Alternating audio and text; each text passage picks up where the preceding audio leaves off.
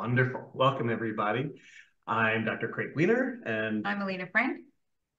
Wife, partner, business partner, co-trainer, all of those things. Yeah. And we really um, have an honor to be able to introduce you to Dr. Adriana Popescu, a licensed psychologist in California. So welcome. Thank you. Thanks, guys, for having me. Good. It's wonderful to have you. We, we've had the opportunity to speak before uh, based on some of the research that you have performed with regard to EFT and working in the clinic that you work in, that you run and manage in California. And in that conversation, we were talking about trauma and different ways of working with people having addictions. And, and one of the things that came up was the work that you had talked about with regard to brain spotting. Mm-hmm. And so we're conducting this series, as you know, to really inform people not to look at superiority, and this isn't a study to compare one versus the other, but it really is to educate and to illustrate for people that have heard about different somatic and trauma-informed techniques. What are those? I, I want to know a little bit more than just maybe the definition I can find on Wikipedia or, or et cetera, yeah. and people that have experience with both. So that's really what stimulated the series. Yes. So let's start with with what your history and background as it applies to EFT and um, brain spotting, which we're going to mm-hmm. cover today. Yeah, that's a good start. Sure. I was really fortunate to discover energy psychology pretty early on. Um, I was still in graduate school here in uh, Bay Area, California, and uh, found a flyer one day in the student lounge for the, I think it was second annual ACEP Energy Psychology Conference. So I went to San Diego, had uh, my whole universe blew open, um, learned EFT, learned Be Set Free Fast. That was another one I was actually worked quite a bit with, um, and a whole bunch of different modalities. And at that time, I myself was really, really sick with what turned out to be Lyme disease and chronic fatigue syndrome. So I was already looking at these mind body, more energy based kind of techniques because Western medicine wasn't really able to help me. Um, so I had started at this around the same time I discovered energy psychology. I was working with an acupuncturist who had learned NET, neuro emotional technique. And that was really helping me to um, make more progress with my Lyme disease because I had a lot of unresolved trauma and things from my upbringing. My parents were children in World War II in a country that became communist. So there was all this intergenerational trauma, things I had never considered could possibly be playing a role in my own illness.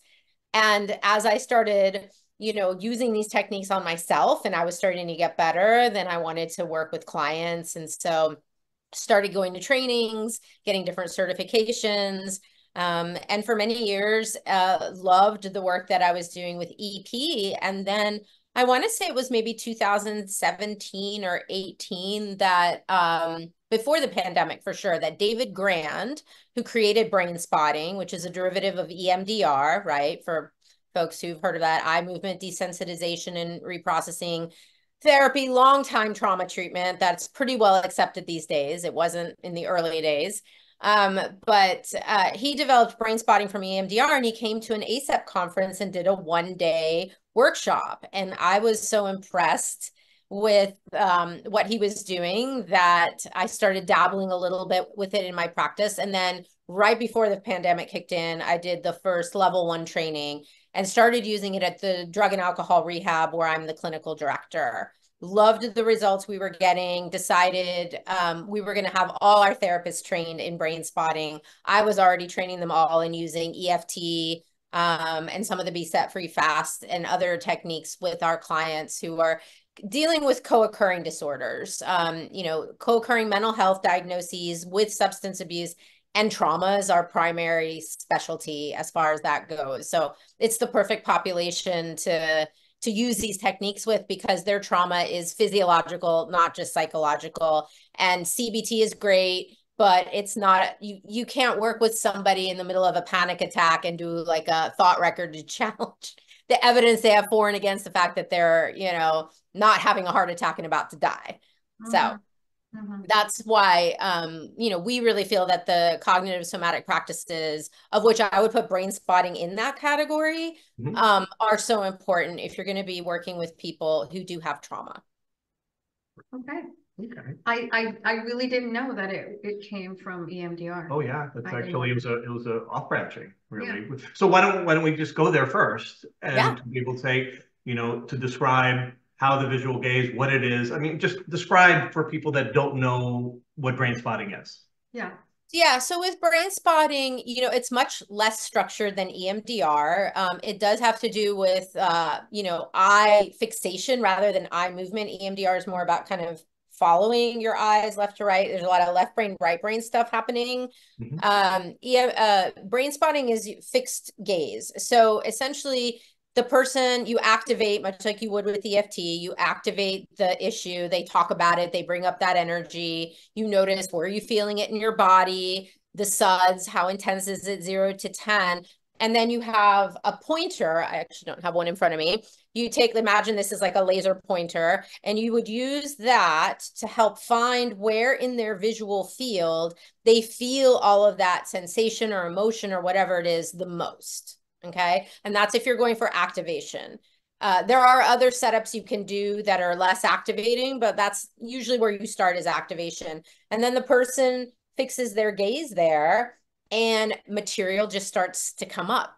It could be memories of past traumas. I've had people um, reclaim uh, repressed memories, for example, uh, might come up, or they might just feel a lot of different things in their bodies. They might cry. They might feel the need to move around. I'm very somatic. I've had a lot of physical injuries. So when I'm brain spotting, I'm actually like unwinding in my body.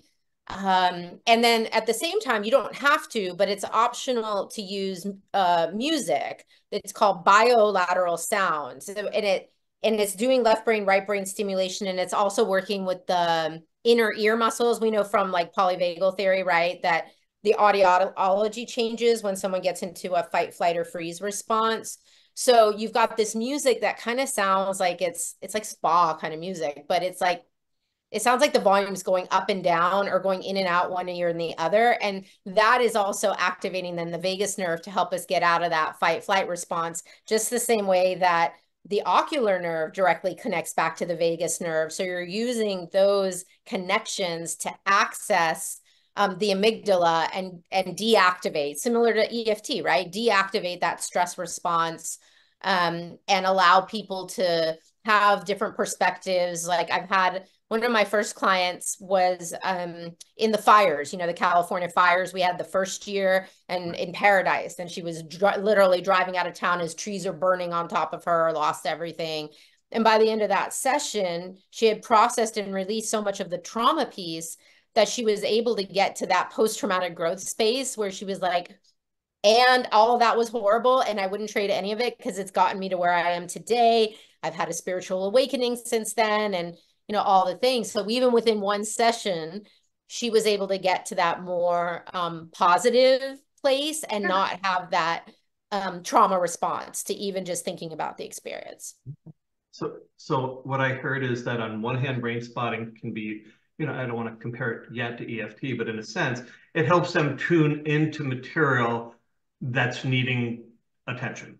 Yes. Whether it be traumatic adversity, whatever's coming up, physiological sensation, thoughts, feelings, memories, material, through somehow that eye fixation in a place that is kind of finding some keyhole mm-hmm. through a vi- through visual stimulation of what needs attention. Yeah, Am I on basically? Okay. So yeah. on the one hand, that can be activating. And mm-hmm. is the deactivation part the expression is the exposure the, the like what yeah. what is what is providing the deactivating right. regulating signal yeah once they're getting activated yeah and i would also add to that because i know that emdr has a lot of preparation in order to do safeguarding right. and making sure that the client is you know is is ready, is ready to do it um, and like how do you maintain someone being like not heading towards abreaction or flooding right when you're doing this so there's so take your time to unwrap. No, no, no. There's technique. quite frankly, that's what I had heard about the the caution around brain spotting is what I heard out there. Well, it's interesting because I actually the feedback I usually hear from clients is EMDR is actually more flooding. Okay. Okay. Okay. So, uh, and what I think is happening there is I think actually the movement is activating too much material and okay. people are getting overwhelmed. Where the fixation you know, and the client has control. They can look away, they can pause, they can take a break. And there are techniques within brain spotting like vergence where you like might move the pointer further away and then up close and then further away and up close or there's one i learned called wave spotting where you know i have the one pointer i should, should have brought my pointers out i have the one pointer here i use two and they're fixing their gaze here and then i have one in the background going very slowly in an arc at 180 degrees. There are similar to like nine gamut, right? There are techniques that I think, which is interesting because nine gamut actually, you know, came from EMDR. Right. There was a time when EFT practitioners and EMDR practitioners were actually sharing a lot of information and collaborating in the early days.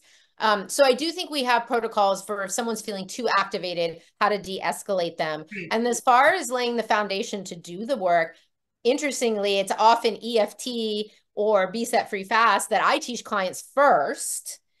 Um, so that they have that in the event that like after the session, let's say more stuff's comes up or they're not feeling totally grounded yeah. or in the early days before I really knew all those extra techniques in brain spotting, I might tap and I still have clients who like tapping at the end of the brain spotting session just to get, you know, more calm and back in their bodies. So you also can, I think, get creative with how you utilize things together.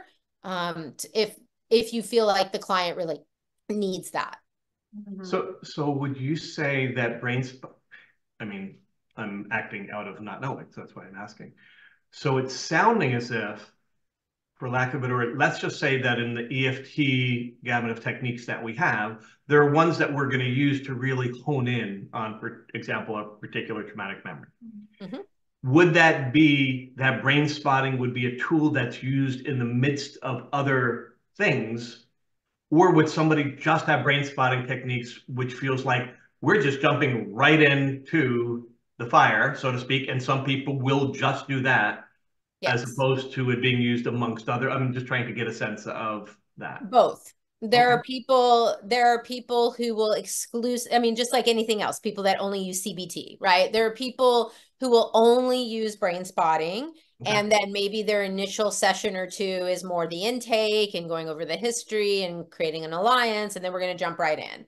Okay. Um, some mm-hmm. people like myself to tend more to do some of that front loading work, give them an emotional self-regulation tool like EFT, work with that a little bit until they get the hang of it and then get into the brain spotting.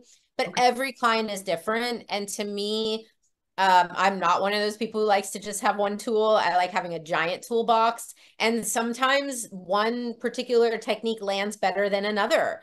And and with many of my clients, it's different every time. Like what do you what do you what do you want to work on today? What do you think is going to be the most helpful? Brain spotting tapping something mm-hmm. net something else you know and often i'll let them decide. If not i'm muscle testing or checking my own awareness around what's going to be the most effective tool for today to work with this issue. Okay. Do you have a preference or sense other than the client's choosing right? When you might be using EFT and for what versus brain spotting? I'm just kind of yeah, curious. I do. I do. It's, it's just sort of intuitive. I don't know how thought out it is. I just sort of get the hit like yeah. brain spotting. Yeah. That seems like a, I think particularly, um, there are times when like if the client is not great at being able to identify their internal experience. They don't have the words for the emotions or they're super disconnected from their body and they're like, I don't know what I'm feeling in my body. Uh, you know, like when there's less kind of material that they can name and they, they maybe don't have the insight, then I may tend to go to brain spotting just because I know you know, David Grand talks about how when we're doing it's so unstructured. Once you've got it set up and the person's looking, you're so non-directive as the therapist. You're taking a back seat. The client's cognitive mind is taking a back seat. We allow the person to get subcortical, meaning like those other parts of the brain take over. Yeah. So there doesn't even sometimes there's no talking at all. A person can be processing totally silently. Um, and I like that because I think that that gives us access. I mean, we're getting into the trauma capsule or cone yeah. or whatever we're calling it, right? We're getting access to that material. And sometimes words are going to pull someone out. They're going to get them back in their, you know, prefrontal cortex or their left brain analysis. you know, and that's going to maybe not allow them to go as deep as they could if we were just being quiet and non-directive. So that piece is different where I think EMDR and EFT probably are a lot more directive on the therapist's part. He says we're in the tail of the comet. The person's brain is the head of the comet and we're in the tail of it just following where it goes. We trust the process. Um, so I am assuming that you have to be a licensed mental health care professional to train in brain spotting? You would think that, but that's actually not true. Okay, let's talk about that. similar to EFT, similar to EFT. Interestingly, David did not want to restrict it to just licensed mental health people. So uh, mostly that's who I've seen when I've been in workshops. But um, but as far as I know, and maybe this has changed, but from when I got certified a few years ago, you didn't have to have a license. Um, obviously, there was a lot of precautions. Same way you guys in your trainings talk about scope of practice and things like that. Um, but there are other kinds of practitioners that are using brain spotting, though, like I said, I think the vast majority are licensed. Okay, okay. that's useful to know. And do you know or soon to be? Are like our therapists, you yeah. know, our associates at the rehab that I supervise, they're yeah. all trained in it, and I feel fine with them using it with my supervision. And what is what does the training and certification look like? So with um you there are different levels, level one, two, three, four, and then all kinds of different specialty master classes, things like that. So I believe to get certified, you have to do level one and two, which are each a very full three day workshop each. Um, that goes all day and you do a lot of experiential, you pair up with someone and you get worked on, you work on them. And then to get certified, you have to have five or six consultation sessions with a, with a certified trainer. Um, so people who have specifically gone through in-depth training with David. And um, you have to have at least 50 sessions dot and you document, there's a session tracking form, mm-hmm. um, pay some fee, and then it's all reviewed. Um, if, if your consultant signs off, um, because they kind of like do like a not a real session, but the kind of a practice session like with you, um, then you can become certified. Yeah, that's very okay. very similar to our, our EFT certification program.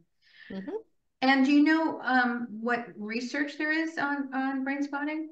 There is some. There mm-hmm. hasn't been, and again, not like maybe at least 10 studies or so. And I know some of them maybe have been foreign language as well um, because brain spotting is all around the world. I was really surprised. Um, I think just David hasn't put a lot into marketing and stuff because when he showed up at ACEP and I found out that even the like the brain spotting international Facebook group had like 11,000 practitioners in it. And and in the and it had been around at that point for 17 years and i was like how have i never heard of this right um, so it is around the world um mm-hmm. there and there are trainings happening all over the world so it is pretty pretty vast um and so there has been some research in some other languages and some i think he, that hasn't been his emphasis you know it's been yeah. he's a clinician he's like i'm not a researcher i'm not yeah. interested in doing that um but there have been some studies that I'm not as expert on, but you do learn about them in level one training, um, and they are out there.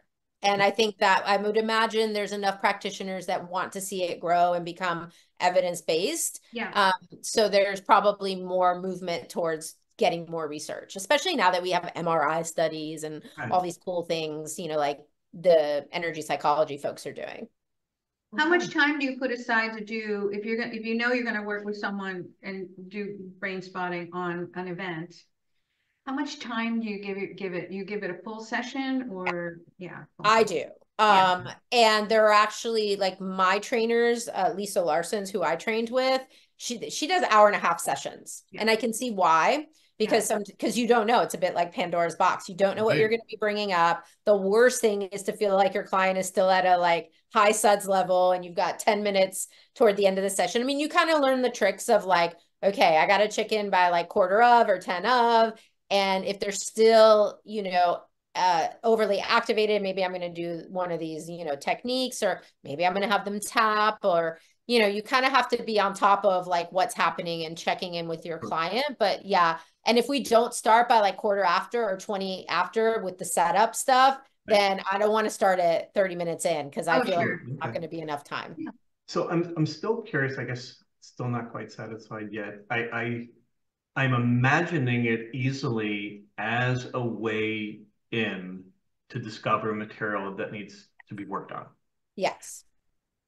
I'm still not clear on the regulating aspect or the resolution aspect because I'm like like I just want to understand further. I can understand, for example, a bilateral oral stimulate, you know, you know, audio stimulation mm-hmm. um, having a calming effect. Yes. What else is happening between the practitioner and the recipient once they're eye gazing, once they're tuning in, once they're experiencing whatever stimulation they are physically, emotionally, cognitively, etc. Like, where is the intervention part other than discovering and the finding and having them tune in part? That that's the part like it's still not quite yeah. there for me yet. Well, that's the thing, and that's what's always weird for practitioners new to this is like you're not actually doing anything. Okay, I hear that. Okay. Your presence, you're creating the container, you're helping them stay within their window of tolerance. Right. And you might, if they're getting super dysregulated, you might pause. Let's look away from this. Let's talk about what's coming up. Right. Like we we can do that, yes. but it, it, it is the technique itself. It's the fact, it's not just that you're doing the auditory, you're doing the visual, right? So you've already so it's almost like the equivalent of looking at the spot and getting the music going is the equivalent to doing this.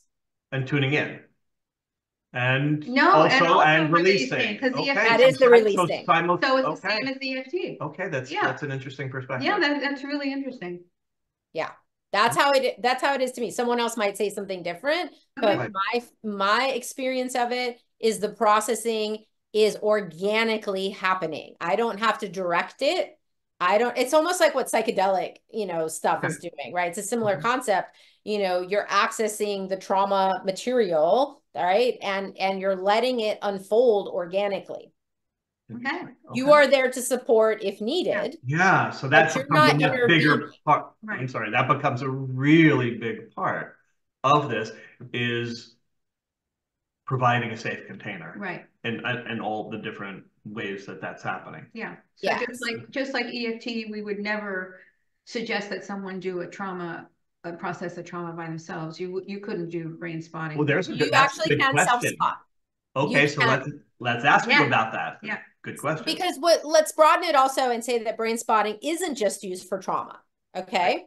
Okay. So within brain spotting, you have lots of different setups. You could do expansion brain spotting, which a resource brain spotting. So expansion might be you take a peak experience. You take a moment where you felt and and a lot of brain spotting is used a lot david works a lot with athletes performers all the things so it might be like take that one time when you felt like you gave your absolute best performance ever what did it feel like in your body and it's funny they use a sud scale that goes zero to infinity right. for that and then you find the spot that correlates to when you felt at your best and you fix your gaze on that right? So Resource. for me, that's similar to matrix re-imprinting, yeah, and we're doing future re-imprinting, right? So it has that.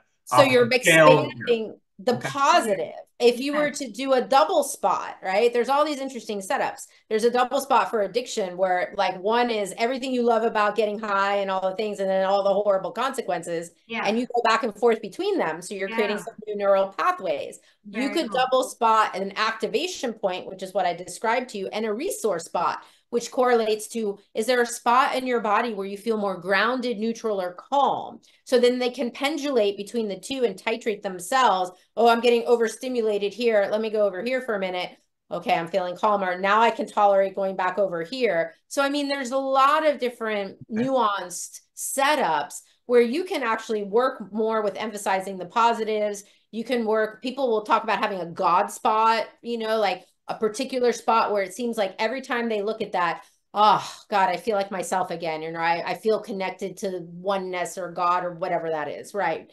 Um, so there's lots of different um, permutations and there's this openness i think amongst the david really wants us to experiment and not hold firm to the setup you know if we have an intuitive sense that um, trying this other thing might be helpful Right. That's how we deviated from EMDR in the first place. Yeah. Yeah. That's helpful. And I see where memory reconsolidation, working with that pendulation as well, can be a really yeah.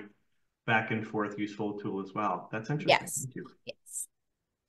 So how can people find out about you? Do you work with with clients on over Zoom in person? How is it that you? Yes. Yes. So I work with people, I do both coaching and therapy, um, and work with people in the state of California. I'm working on getting my license in Oregon as well. Um, and can yes, do work with people online and in person here at my office in San Francisco. Um, uh, I have a trauma healing center called firebird-healing.com. Um, our therapists all use brain spotting or EMDR, um, are all trained in energy psychology as well. Um, the rehab I work at is called Avery Lane. I have my own website, adrianapopescu.org. I have a web uh, podcast. Craig's been a guest on my podcast. So lots of different, I'm all over the place. It's easy to find me.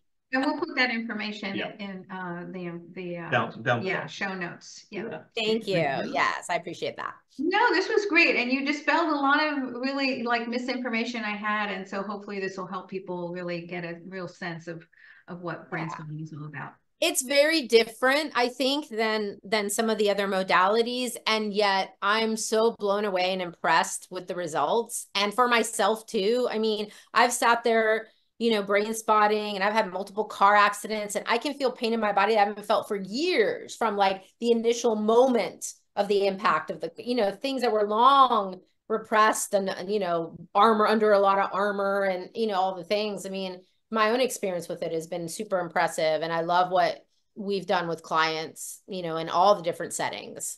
So yeah, I highly recommend people check it out. It may not be for you, it may not be for your clients, but at least go on the website. There's lots of videos of David talking about how he developed the technique and um, yeah, I think it's worth worth knowing about. Right. Right. Thank you so much. Yeah. Really appreciate you. it.